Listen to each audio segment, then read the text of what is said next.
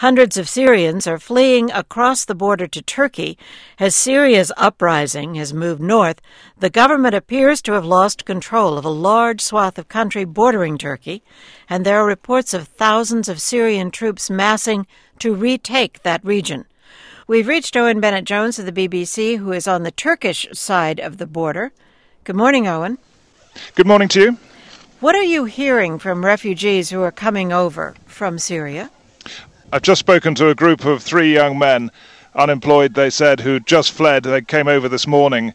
They said they're extremely anxious. They're very worried about what's happening in their area. Many of the villages and towns have been abandoned. I'm looking now over a valley, which is the uh, border crossing point between the two countries. There's a road at the bottom of the valley, olive groves and uh, rather scrappy wheat fields all around, some cows and sheep and so on, and really very pleasant rural scene. But just on the other side of the road, I can see trucks coming up to the road.